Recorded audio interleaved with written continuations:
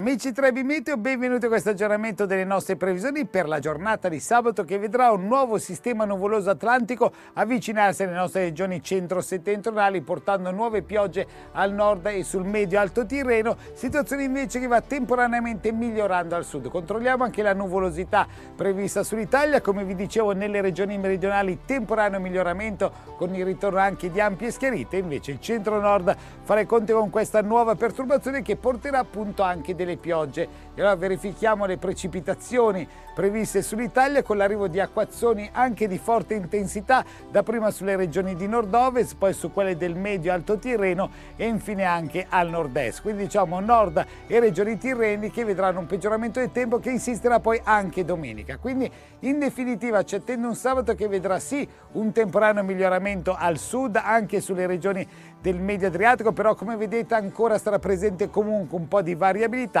ma sarà il nord Italia e il medio alto Tirreno la parte del paese con le precipitazioni più insistenti, più intense e anche a quel punto con le temperature un po' più contenute, soprattutto sulle regioni di nord-ovest. Con questo è tutto, però per i dettagli sulle vostre località scaricate l'app gratuita di Trebi Meteo.